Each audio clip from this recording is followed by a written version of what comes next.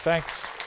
Thanks, Peter, and uh, good afternoon to everybody. And as Peter just mentioned, he just gave me a great setup. I'm going to be talking about these adverse event reporting systems at the FDA and how we can help. Uh, we, we do indeed have a UCSF Stanford FDA Center of Excellence for Regulatory Science. Uh, it's, a, it's a relatively new effort, a couple of years old. Uh, and the idea is to help the FDA in the area of regulatory science, not policy. We don't touch policy. But what is regulatory science? Well, it's the science necessary so that FDA regulators who are making decisions can make good decisions, better decisions, faster decisions. So it's really about facilitating them. It's about the mission of the FDA. So unlike a lot of the research in my lab and other labs at Stanford and UCSF, this is not really curiosity driven uh, unless you count the curiosity of the FDA regulators as the driving uh, curiosity in this effort. So I want to tell you about one project within, within this uh, and it, it has to do with pharmacovigilance and spontaneous reports. Um, there is a database called the FDA Adverse Event Reporting System, or FAERS. And FAERS gets these reports, as Peter just described, from physicians, from companies, from pharmacists, even from patients. And in fact, in 2015, there were 1.7 million reports submitted to the FDA um, about drug uh, effects that were worrisome and might be adverse events. And just to give you a, paint a little picture of what these reports look like, they have some demographics, the uh, sex of the patient, the age, all the medications that the patient's on, all the diseases that the patient has, all the side effects that the patient experienced, and then some outcomes like death, lost time at work, and a few other categories. Now, of course, as Peter also mentioned, we count on these being as best effort, but we don't always know if there's best effort. So we don't always know all the drugs the patient's on, all the diseases they have, or all the side effects. But the idea is that with these reports, FDA reviewers can kind of watch this stream of reports coming in, and they have a very important job then. Their job is to detect signals that some drug or drug combination is causing big time problems. Uh, and they don't have to prove it, but they have to flag it so that others at the FDA, including themselves, will then do a follow up investigation in a structured way to determine as quickly as possible if we have a problem here. So, the key number there is 1.7 million reports. And how do you triage such reports? And they do their best and they have uh, systems in place, but these are all very manual systems. Uh, and still, as they come in the door, there's somebody looking at them quickly and kind of triaging them. So, our FDA uh, collaborators, uh, Bob Ball and Scott Proestel in uh, CDER, uh, said, you know, We've heard about this machine learning stuff that is going on in a lot of places, including Stanford and UCSF. Could you potentially use machine learning to triage these reports? Can we find features of these reports that indicate they would be high value of information versus less high value? Because given the limited time of our reviewers, if we could front load on the priority list the reports that are looking very promising as having potential signals of importance, we might be able to accelerate uh, our discovery of problems and therefore accelerate our addressing them and making sure we protect the, the safety of the, of the drug supply and, and, the, and the drug use. So we said, yes, we think that is possible. The key thing that they did for us is they reviewers took some time out from their normal day jobs, and for 500 of these cases, randomly selected, they graded them. They graded them on a scale of 1 to 7. 1 through 5 is 1 is of certain importance very valuable report. And then slightly less certain, and up to five is questionable importance. Based on reading this report, I don't know if I can conclude anything. Then number six is kind of an outlier. It means this was a medication error, so it's not really about the drug causing a problem, it's that they were given the wrong drugs. So that goes into a different bin. And then number seven is a product quality issue. Uh, really, it's kind of a medication error of a different sort, which is that it's contaminated or something like that. And those are considered separately. So really what we care about is those one through five really valuable to not so valuable. And instead of having these reports come in in chronological order, which is what they and be reviewed in chronological order, the opportunity here would be to have them come in, apply a classifier, which would then reorder them to have the attention be spent on the ones of most likely interest. Now, the question is oh, and I forgot to tell you one thing. These reports also have a text field. So they have all those things that I mentioned before, and they have a text field where the person making the report can type in. This was a 43 year old uh, person who was with depression who I gave this drug to, and their skin turned red, and, or whatever.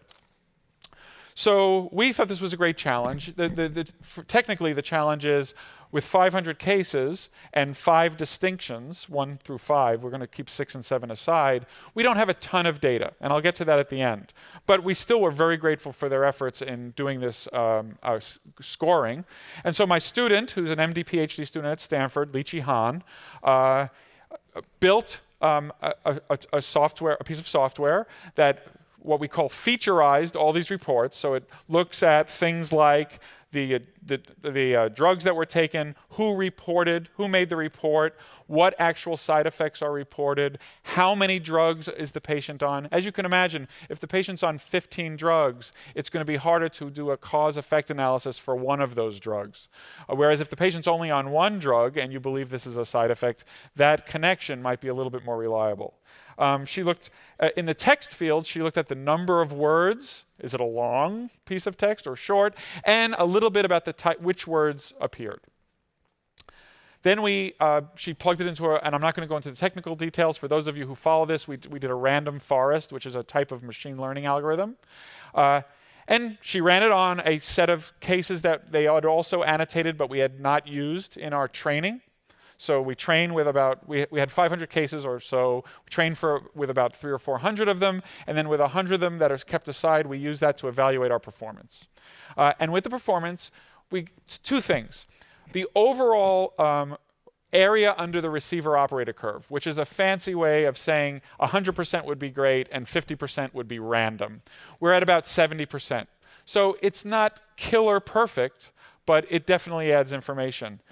Um, so 70% overall performance. But more importantly, Lichy said, what are we trying to do here? What we're trying to do is reorder these versus having them just be reviewed uh, temporally. So she um, also looked at the enrichment for high scoring uh, reports and the 100 test cases. She compared what would be the um, average amount of time spent looking at uh, not so useful reports versus if we ordered them, what's the time spent looking at non useful reports? And she found a very statistically significant difference there.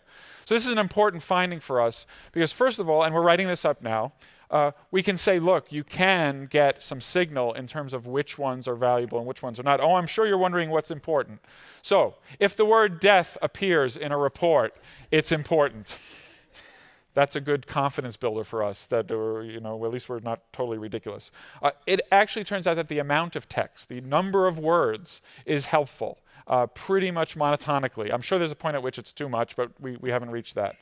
The types of side effects and the classes of drugs. It is not the case that all drugs have an equal probability of causing problems and if you know you're in a certain class um, it increases the likelihood that you might be talking about a side effect that is going to be important. And so, and then we have a list of these uh, about 15 or 20 features that seem to be very important. So this is great. Uh, we're writing an initial paper to discuss this. We're happy because we think that the tool, even as it is right now, could not do any harm, so to speak, in the FDA process. It would just reorder reports that they're going to look at anyway, but maybe in the morning from 9 to 11, they'll be looking at the ones that really uh, have this enrichment for signal. So that's exciting work, but what's really exciting is we wanted to get, I told you 1.7 million, we had 500. So we talked to our co collaborators and said, how can we get those 1.7 million. And first of all, they said, look, we're not going to mark up 1.7 million on a scale. That's we're not doing that. We said we understand, but there are machine learning methods that you can apply where you don't actually know the answer, but you can still, with a lot of reports, get a sense for where the high value is and where the less high value is. Well, they said, Russ, you're a grantee. And as a grantee, we can't give you uh, the information because it has personally identifiable information in those little text blobs, and it would be very expensive for us to redact 1.7 million text blobs. So we were kind of at loggerheads, and they said, well, but if you were a contractor, maybe you, you, then as a contractor, you're an extension of the FDA, and we could get you these reports. So I learned about the federal contracting system, and I wrote a proposal saying we have these preliminary results on 500 very expensively annotated reports, but we would like to get 1.7 million or, or 3 million over the last couple of years, um, please. Um, so the, the, contract was approved, uh, and so now we're in a new phase, just getting started, where we have tons of these reports. We have the text, uh, and we're starting to think, okay, we don't have, though, the labels from the reviewers except for those 500. So we have this little puzzle of how do we take the, puzzle, the ones that we have labeled, the large volume of ones that we don't have labeled, and how do we try to improve the performance of the system. And as you can imagine, we have some ideas, and we're looking forward to the next phase of this work. So I think I'll stop there, and that's our little story about the Center of Excellence for Regulatory Science, and just one project that's trying to help the FDA um, with its throughput on looking at these spontaneous reports. Thanks.